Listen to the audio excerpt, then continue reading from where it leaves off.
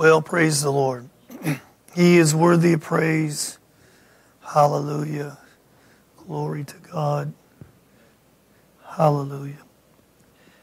You know, I, I have so many things I would like to share, and like I think about um, all the things that you know. It's like God just keeps pouring in, and hopefully I can pour out. And more importantly, I'm not uh, interested in any other thing that God would uh, literally rearrange our lives, that He would be glorified, and that when it's all said and done, we would know Him. Not only individually, uh, which is important, um, but corporately, collectively, um, which makes it a family, which is what He has determined. It, it does really no good to have like 8 billion perfect people and they're not a family. It, it, it doesn't work. That in itself would tell you it's not perfect. Amen? Hallelujah. Thank you, Jesus. So if you turn with me to Ezekiel 22, I'm just going to go quick. I have a few verses I want to read. I'd like to roll things a little bit um, where I left off on Sunday. Um, I don't know if I'll get to it or not. I don't know. Like I didn't even know I was going to read this till I got in here tonight, and I just began to uh, listen to the Spirit because God God has determined something. He He has predetermined something, and because you and I are alive at this particular time, this is we're, we're alive right now, literally physically breathing breath in a time space dimension that because we have been enlightened to the truth, that we came out of God for a purpose, and that we must return to God with the purpose totally fulfilled. That is nothing to do with going to some particular place in the universe. It has everything to do with the realm of God's Spirit, which, by the way, is here.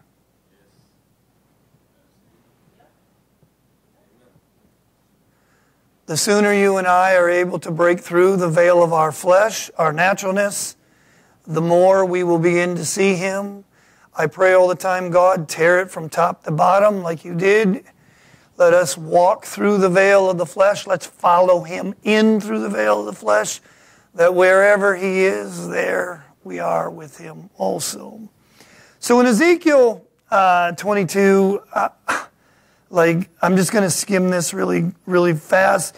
Um, verse 25 says there's a conspiracy from the prophets.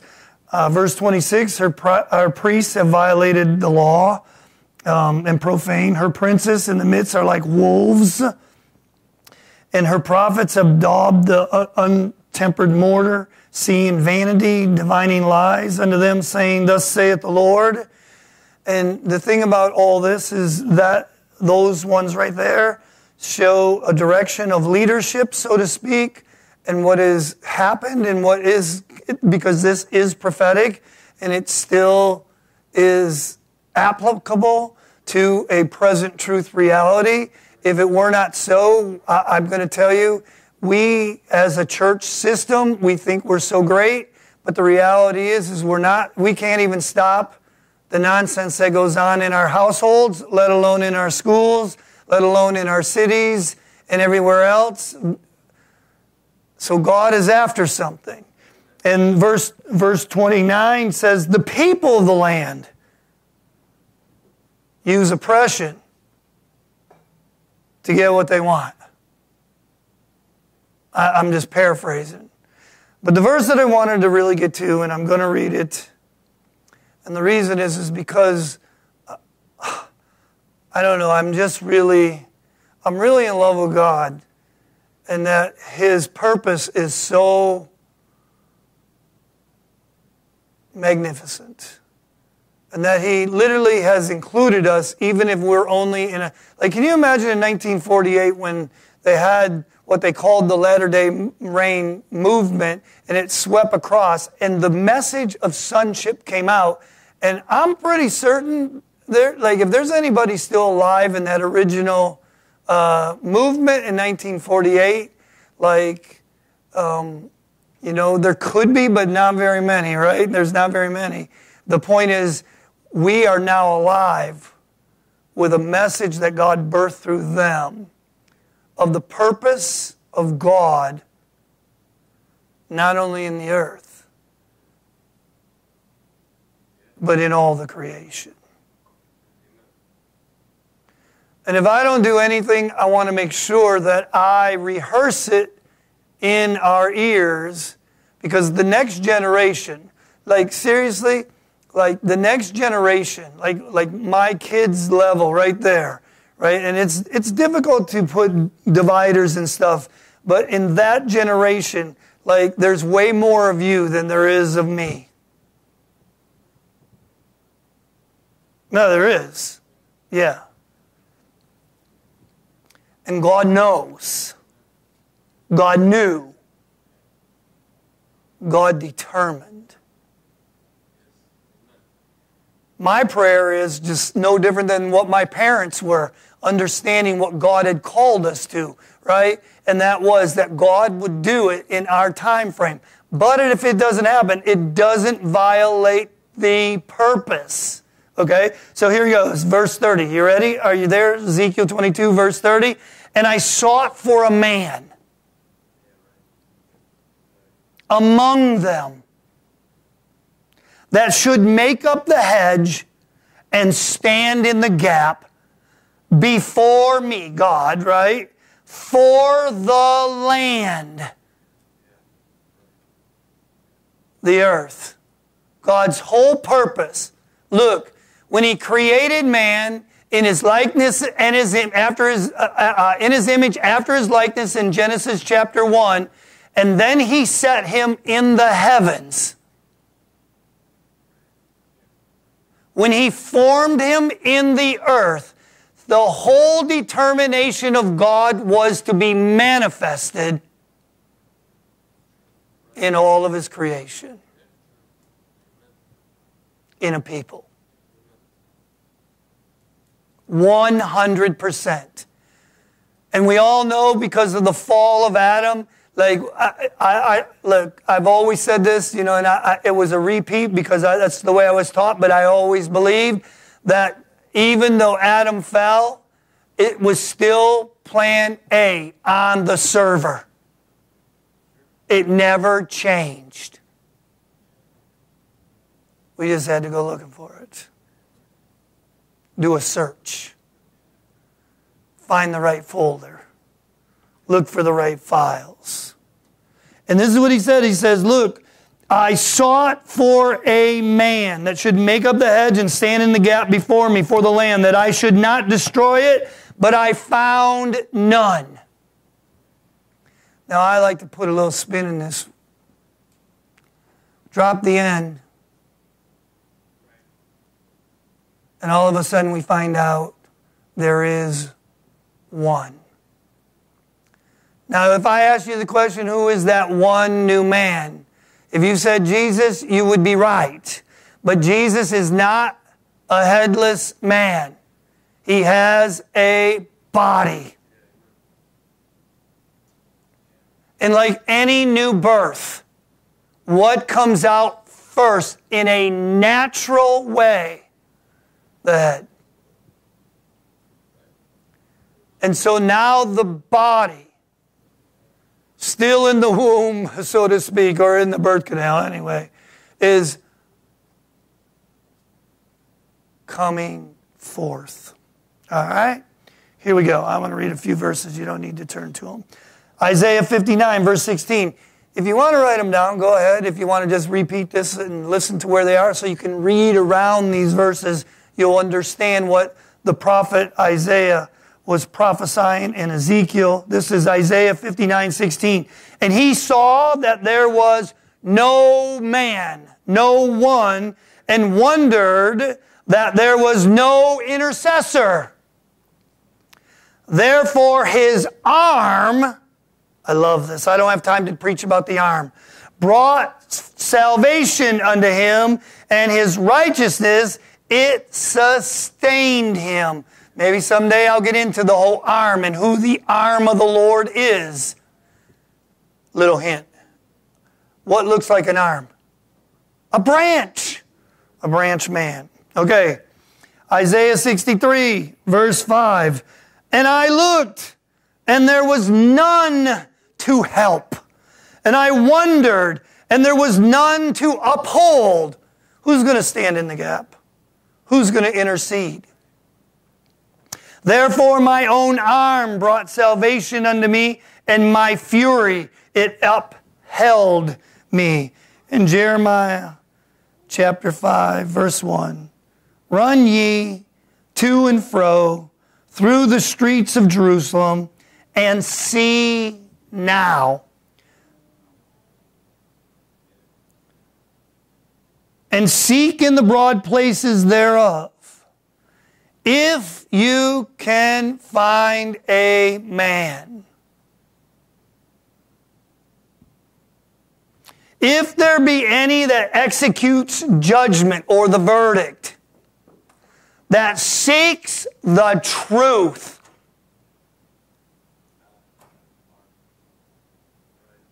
You worship Him, you have to worship Him in spirit and truth. Well, most pursue God's love.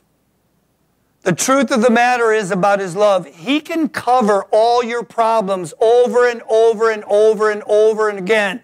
But the question you will always have, why do I keep repeating the same stuff over and over and over again? It's because the truth makes us, forms us, shapes us, liberates us, frees us. From what? Missing the mark. He looked for a man. If you can find a man, what is the creation groaning for? They already have God's love. They have it. 100% of God's love has been shed upon us. We are lacking none of His love. Not one bit. We have so much of His love that's all most folks can talk about. And the problem will never be God's love. The issue has been spirit and truth because the truth will reveal a man child. The creation groans for the manifestation of a man child, a son that looses us from an earth realm mentality and causes us to live in a heavenly realm.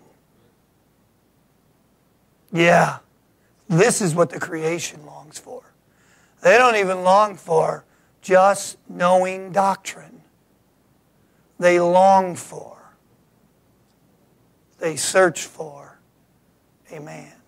Now, we could attribute this these scriptures to the Old Testament prophets. And we can say that Jesus fulfilled these scriptures by becoming the sacrifice, the man that stood between God and man. But in order for, like, can I, I, I don't, like, God doesn't need anything. God, He's not short. And Jesus hasn't come up short of the purpose. let me say this. I'll tell you right now, Jesus hasn't come up short of the purpose, but it hasn't been fulfilled. How do you know that? This is what Paul wrote. I'm confident in this very thing that he who began a work you have never seen before. How do you know? Because we've looked and we haven't found it. It has never existed in the earth ever before. Well, all the church is going to give you the doctrines of Jesus only. Jesus Himself, the incarnation of who He is, within a people who lay down their lives. They fall on the sword, they fall on the rock so that the rock does not pulverize them.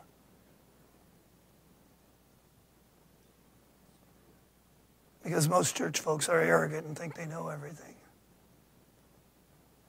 They're always trying to prove it. But the creation groans. It's looking for something, someone they've never seen someone who will stand in between, make up the hedge. When most folks are trying to fight what they believe is more true than what someone else is telling them, the creation's looking for a man child to let the prisoner go free. Yeah. And God has marked us for this purpose. Eye hasn't seen it, ear hasn't heard it, neither has it even entered into the heart of those who what? Love Him. Love Him. Love Him. Amen. So now turn with me to Revelation chapter 19. This is where we were on Sunday. and I got to get moving or I'll never get done. There's so much to say. I don't know. I, don't know. I could just keep going, but I won't. Verse 7. I finished off, this was the last verse I read. And the reason I want to read this verse again. Do you remember this? And I heard, verse 6, and I heard as it were a voice of a great multitude, as the voice of many waters, as the voice of mighty thundering, saying, Hallelujah for the Lord, omnipotent. He what? He reigns. Where does God want to reign? Where does God want to reign, Dale? He wants to reign out of you. Not rain from the sky, but rain. R E I. Not R A I. Verse 7.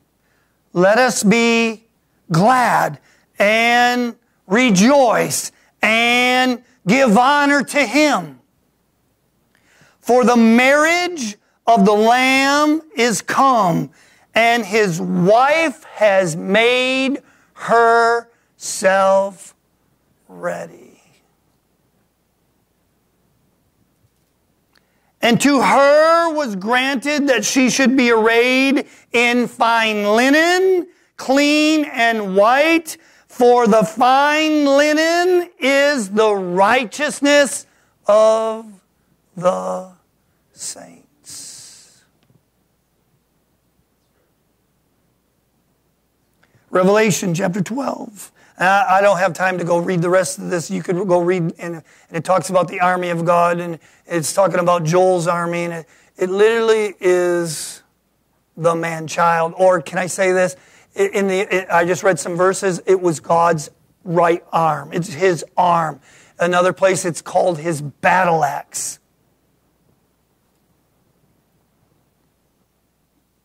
Remember this? Remember what Jesus said? And the works that I do, you will do. But they'll be what? Greater. Because it'll come to an end. And because it's not a, God's not mystic. He's not spooky spiritual. He's not magical. He doesn't say abracadabra or in the name of Jesus all the time. He moves by spirit and he speaks words of truth where the light pierces and penetrates the darkness. Oh, that I would have a man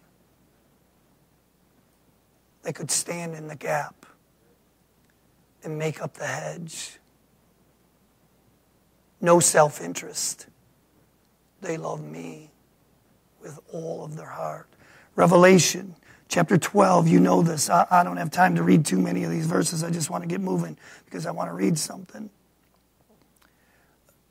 And the woman, right? Verse 5 and she brought forth a man child who was to rule all nations, or shepherd, or feed, or rule, destroy darkness with strength of light, with a rod of iron.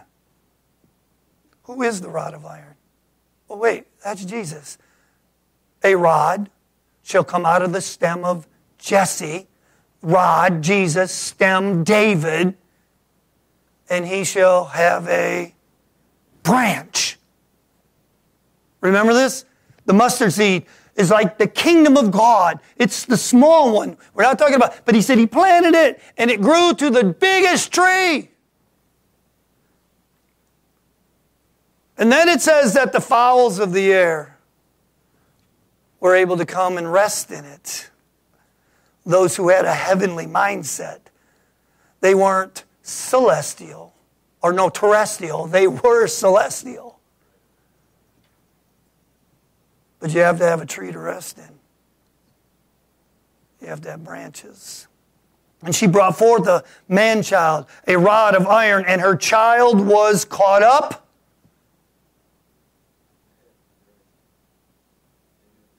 Up above not another place over there. Caught up unto or into God and to his throne. Where's the throne of God? The kingdom of God is where? Within you.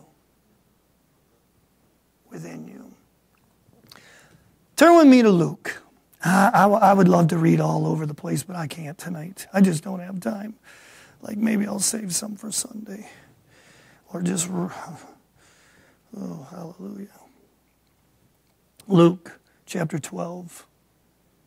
Luke chapter 12. What did the lamb's wife do? She made herself what? Ready. For what purpose? To birth a man child. And what's the man child for?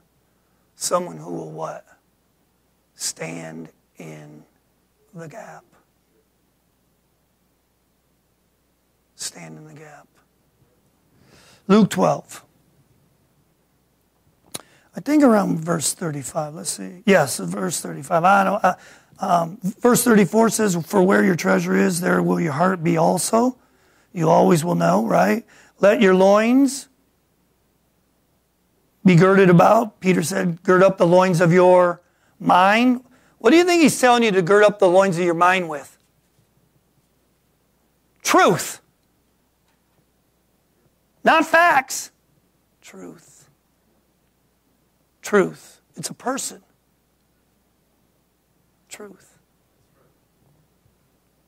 What are you supposed to pursue? Truth. Let your loins be girt about and your lights burning, and ye yourselves like unto men that wait for their Lord. When he uh, will return from the wedding, there you go, that when he cometh and knocketh, that they may open unto him. When? Immediately. Why? Why would they even know? Or how would they know? They're watching. They're ready. They're pursuing. They're making sure. Blessed are those servants whom the Lord, when he comes, shall find watching. Verily I say unto you that he shall gird himself and make them to sit down to meat and will come forth and serve them. And if he shall come in the second watch or come in the third watch and find them so, blessed are those servants.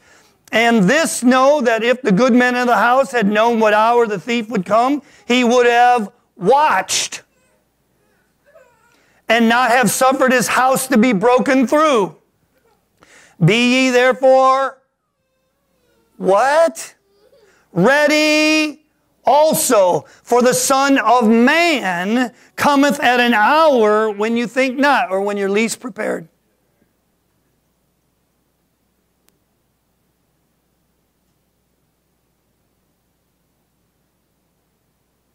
You want to be served or be a servant? The other day I was flipping looking for something, uh, a, a message on YouTube, you know, and I, I landed on some church out in Seattle, and people are still fighting the battle. You're not a servant, you're a son. Got to grow up. It's the heart of the Father to be both. The whole point of Galatians chapter 4 was about an Egyptian heart being a slave to sin. When unfortunately, far too many of us still are. We just don't think so. But you can't see the man child.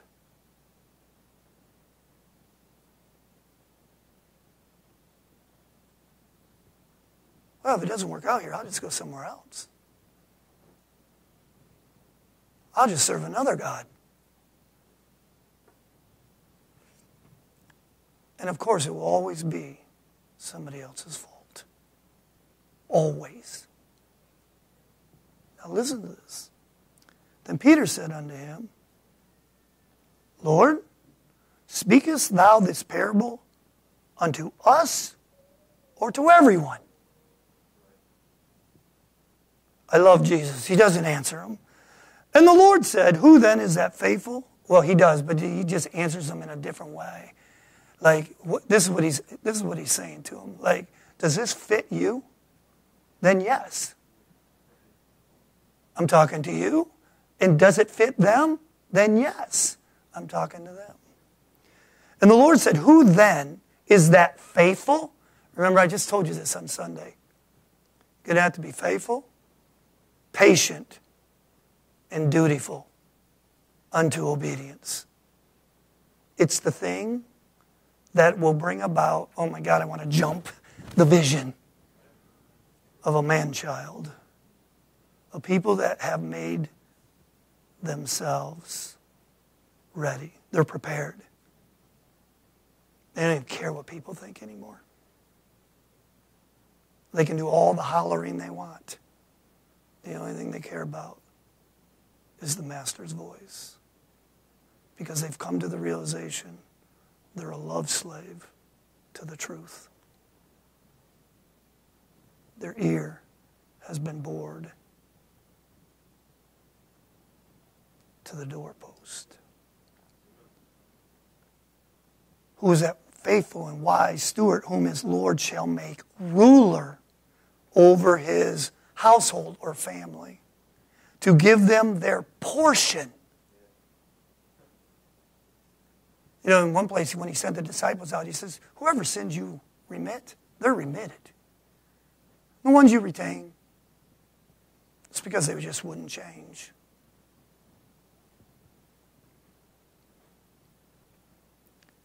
Thank God for the blood of Jesus. You know, I was doing my exercises last night, man, and I was like straining. And I just kind of just broke out and started crying and saying, God, I'm only sweating sweat. Another man, human, would have died by the beating he took. And the beating was so bad that no matter how bad it got, couldn't kill him. That's why they kept beating him. Then finally, the, then they finally had to stop beating him. Pilate said, Stop. Can't kill him, we got to put him on the cross. Because you kill him here, we no sense putting him on the cross. They just didn't realize they couldn't kill him.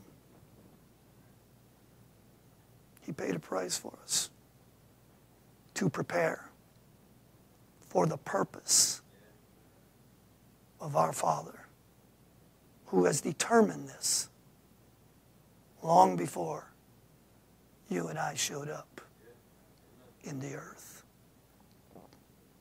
He'll give them their portion of meat in due season. Due season. Blessed is that servant whom his Lord, when he comes, shall find him doing so. Like, what did it say? Duty. You know what duty is? Occupy. Do the business. Occupy till I come forth. Be faithful, patient, and occupy. Do the business. Of a truth, I say unto you, that he will make him ruler over all that he has. But if that servant say in his heart, My Lord delays his coming. Uh, I don't know why, but I've been saying it for like a few weeks now. The Lord is not slack concerning his promise. So we should never, ever have the mentality or voice the words, Where is he?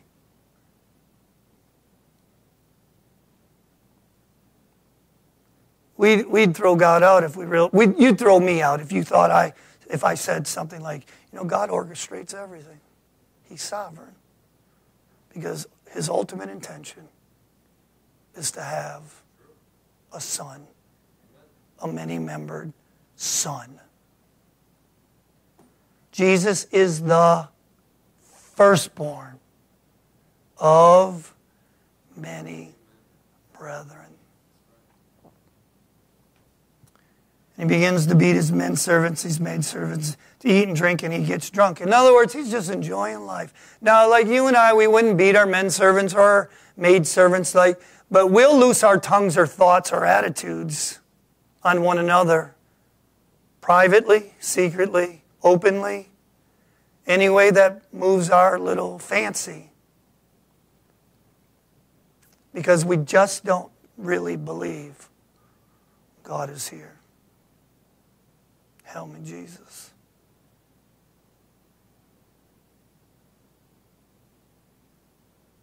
And I guarantee you, this servant justified his actions.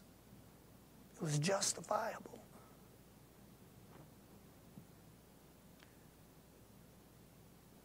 Verse 46 And the Lord of that servant will come in a day when he doesn't, he's not looking for him and in an hour when he's not aware. I can't believe this has happened. And will cut him asunder and will appoint him his portion with the unbelievers. Now, this isn't unbelievers acting this way, it's those that have been marked for the high calling. And verse 47, this is the verse I really wanted to get to, I think. Yes, it is. Here we go. Just follow me here and that servant, which knew his Lord's will and prepared not.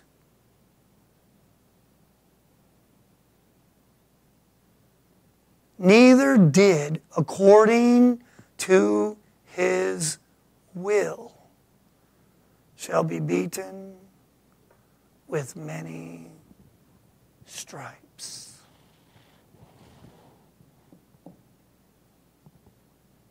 The creation groans for a people who have been processed, prepared, made free, so that someone can look upon them and see. First Fruit Company. And I really do believe this you're going to have to be alive and remain to be in that company. What about all those folks that have went in bed? Like God has already designed the plan how it's going to take place.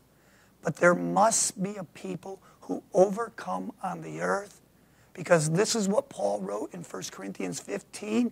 I show you a mystery, not all, we, he used the word we, in the body, shall not all sleep, but they shall be changed.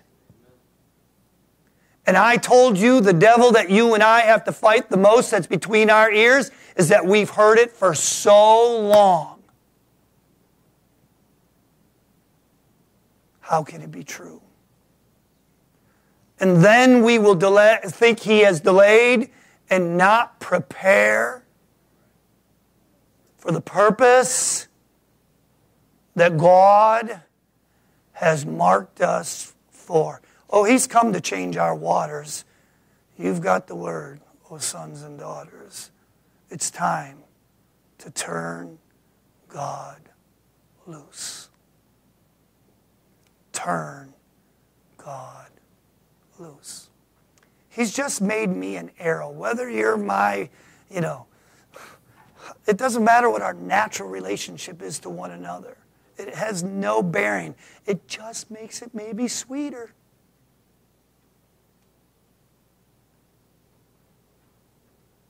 Well, God drew me into something. Like, I was born in my mom and dad's family. My mom and dad were sold out, and after this, I didn't say they were perfect. I said they were sold out. But when God apprehended me at 24 years old, He changed my waters. And like a polished shaft, He has shot me into darkness to turn on the light. And if you need any proof, just go talk to Sherry. She never even knew that Jesus came so that he could what? Live inside of you. Not just to, you know, make you a good little, nice, you know, Christian. Don't read Matthew 24. False Christ literally is false Christians. My people who are called by my name. No, he called us to prepare for purpose. Purpose. Father, I love you and I thank you. I thank you for your word. I thank you for your truth. I thank you for your mercy. Thank you for your grace. I thank you for your love that makes this all tangible to us and how you have drawn us into yourself. So I pray tonight, God, in spite of me, but yet in releasing you, turn your word loose. Overtake us. I, as just one person, God, willing to find my place in your body, to stand in the gap, to make up the hedge, to create a void of all shortfalls, so that God, you can be the all in all. And because God, you know, I cannot do it as one single person by myself, you have joined a crowd. sweet, holy God, that we can release a light into the darkness of the Gentiles, whether they call themselves Jews or Greeks, it matters not. For God, you have determined. Oh, hallelujah, God, you've determined that your arm will bring you full salvation. Spirit, soul, and body. You know why God takes no pleasure in the death of the wicked? It's because their life is over when they go in the ground. Like Judas, they would have been better off never being born. And so he is telling us to prepare. I don't even want to read farther in this chapter. You go right ahead, but this is what it says. I, I believe it's here. I don't know. I got mixed up, but I think it is. Too much is given, much will be required. Well, I never asked for this. You're right. He's God. He chooses. We just must choose. Amen?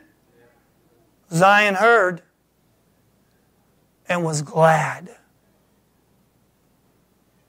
that God has a man to fill in the gap. Amen? Amen. Hallelujah, Jesus. Thank you, Lord.